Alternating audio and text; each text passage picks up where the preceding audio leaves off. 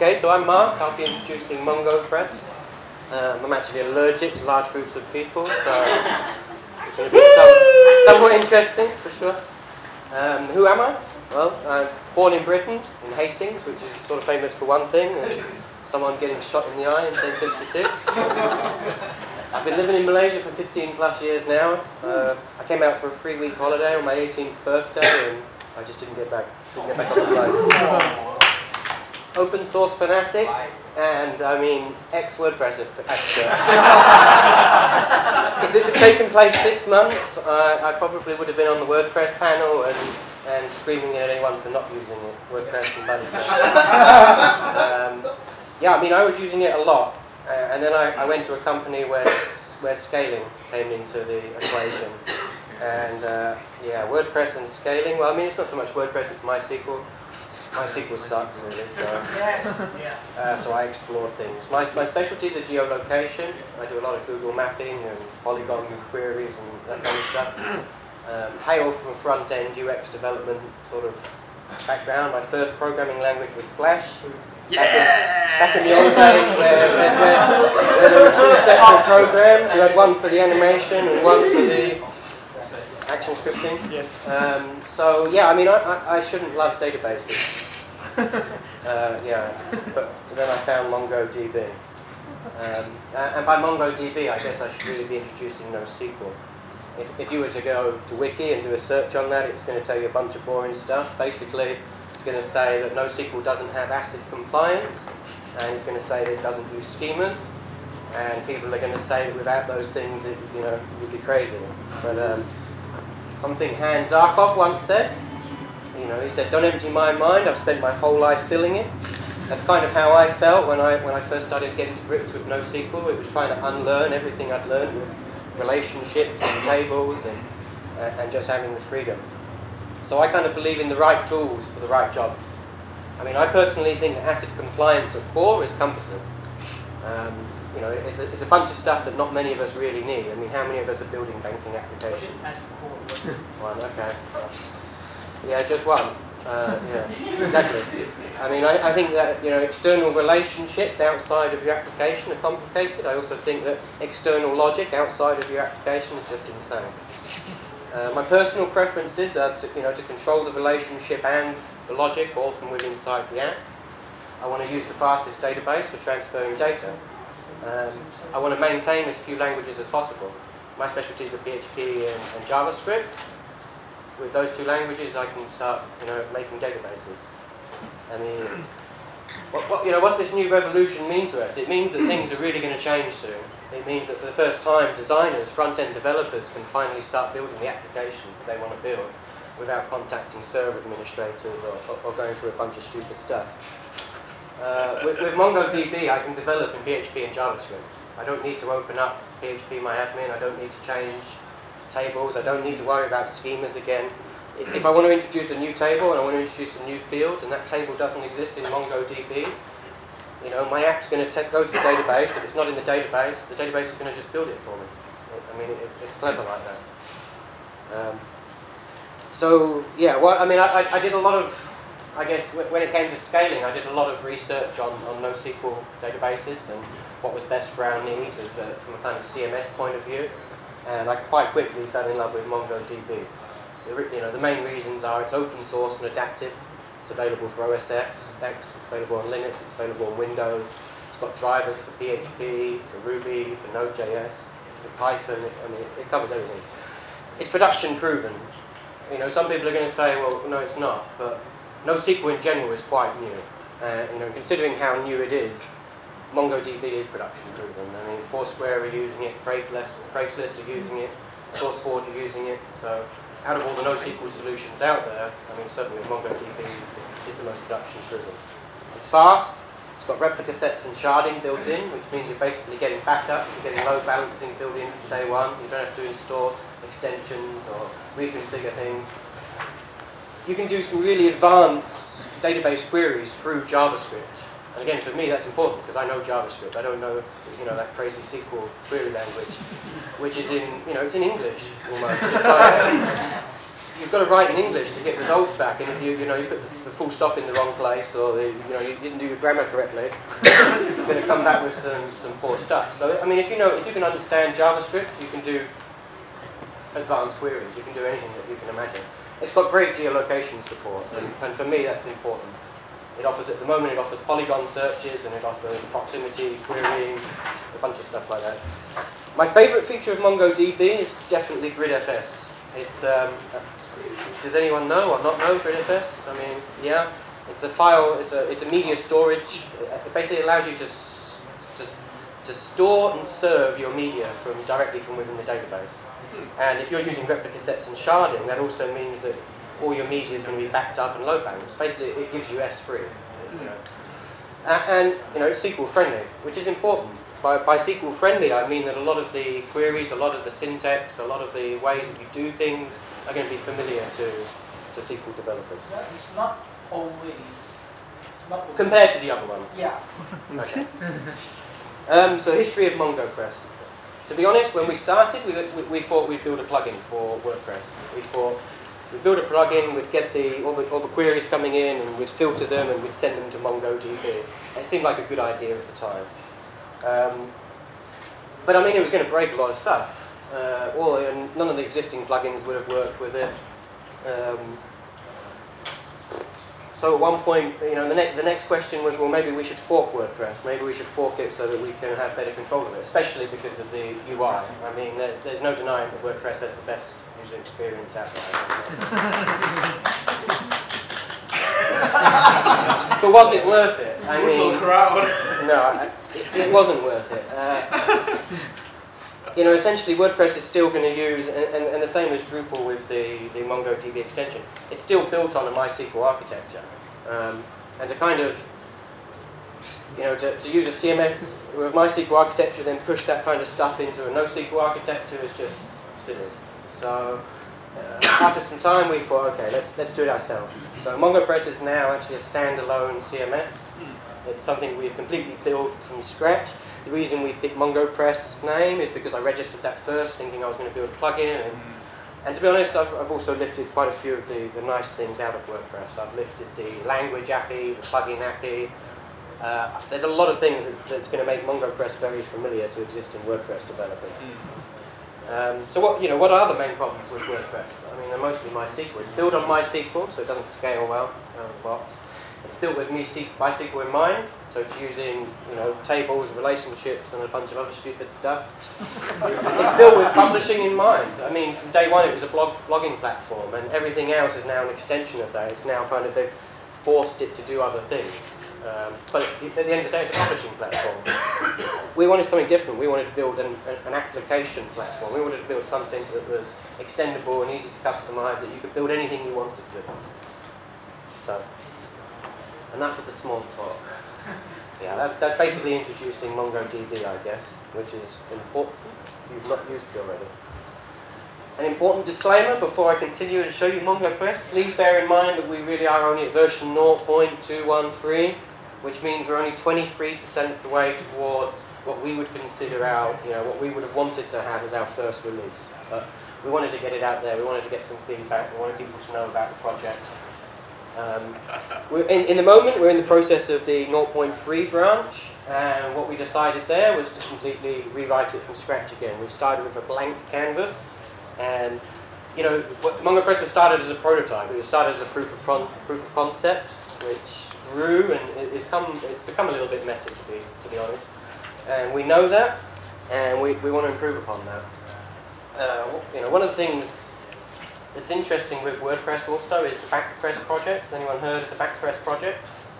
Anyone used Backpress project?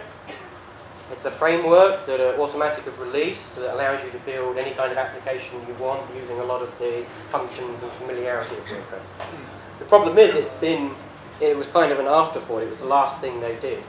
They, you know, they built WordPress, they built BBPress, they built BuddyPress, they bunched, they, they pulled in a bunch of stuff that they thought would be quite cool for a framework, and they sort of cobbled it together.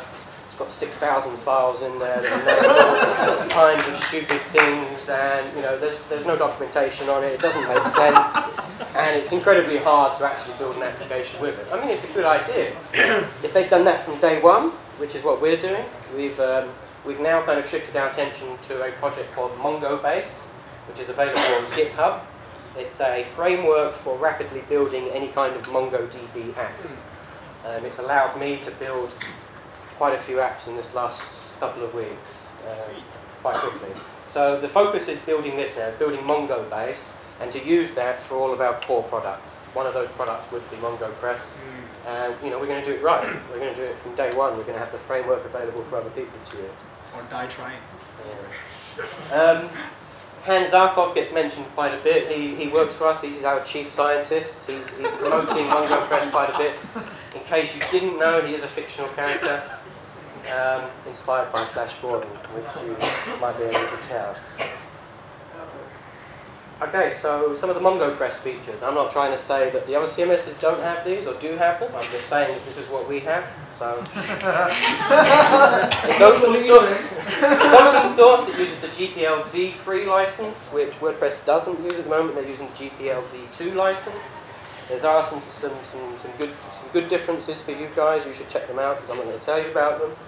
It's extremely fast and instantly scalable out of the box support for replica sets, sharding, and even Nginx. Um, it's incredibly secure and search engine friendly. What, what we did is we pulled apart WordPress security functions. We, if you don't know, if anyone has tried to do that before, that's also spread out in about 50 or 60 different files all over the place with some strange names. We pulled all that together. I mean, we don't believe in a, I can't say that word, but the, you know, the one where you try and hide stuff. I could say it several times and I sound stupid. But, uh, so we pulled it all together. We figured out how WordPress did their security and we found out some of the flaws that they had and some of the ways that we could improve upon that. One of the things is the SHA-256 salted encryption, something that WordPress aren't using. I think they use it 16, I think. Very old one because they need support for PHP 4. Yeah. We're going for PHP 5, so we're allowed to do some cool things with that being one of them. Uh, we've also segregated the usernames and the user passwords into two separate places, so if you get hacked in one, you're not going to get both. We've, oh, I've really got to learn that word. Obfuscation. The bit between the, the username and the password, so that's another layer of, of, of, stuff that makes it hard. And, you know, it, it's search engine friendly. You're really British. It's...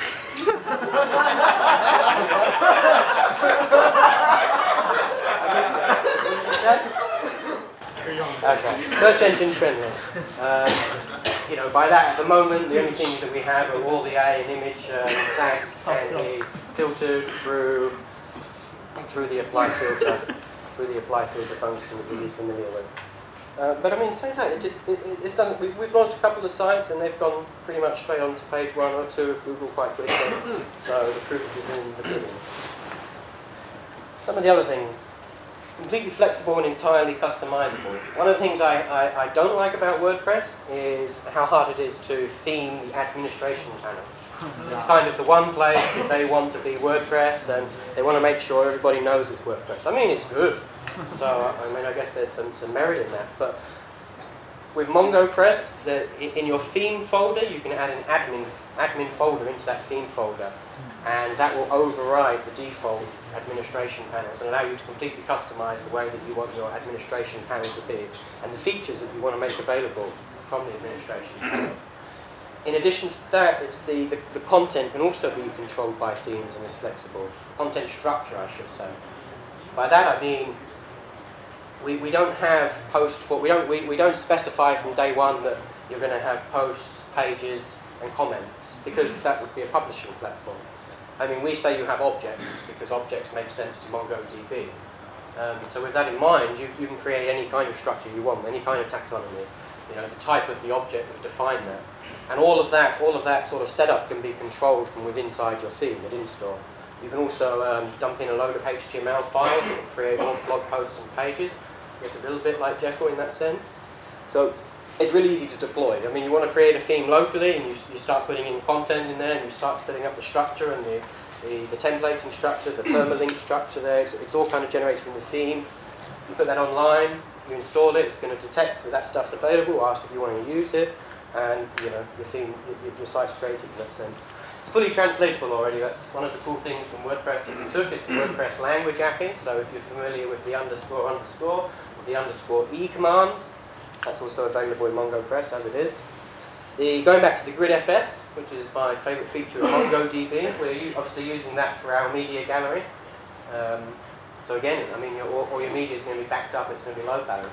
We've also got HTML5 drag and drop file uploading, which was implemented before WordPress, using the same, the, the same, the same plugin. It uses Plupload, if any of you've used it, which is a little bit flaky at the moment, but I'm sure it's going to get better. So, it, it, I mean, it's very developer friendly. Anyone that understands WordPress or that can build a WordPress theme or plugin can already build a MongoPress theme and plugin. And there's a couple of little changes, but you're going to realise it's quite easy. Instead of permalinks, we use a thing called permatrails. So when you create a slug for your post, your object, your whatever, your page, we allow you to have forward slashes in that, unlike some CMSs or all CMSs.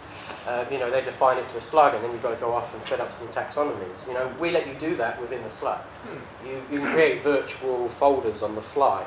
And if you visit that virtual folder, it's going to sort of automatically know it wants to look for stuff that's inside that virtual folder. It's going to go off and search for stuff and it's going to display that on the page for you. It's also allowing for intelligent querying. So you, you, you can, you know, there's, there's certain things you can stick onto the URL. It's going to figure stuff out and, and pump stuff back to you how you want.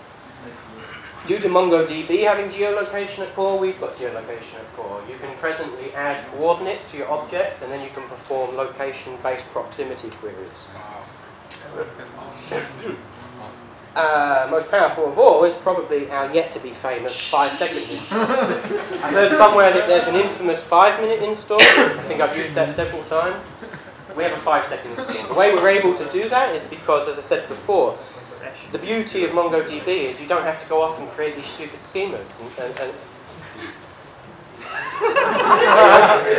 so, you, so you upload the files to your server, you, you pick the name that you want for your database. If that database doesn't exist, it's going to create it. So it's five seconds. You put it up, you pick the user, your database, you press return, you're installed, you're ready to go. Okay.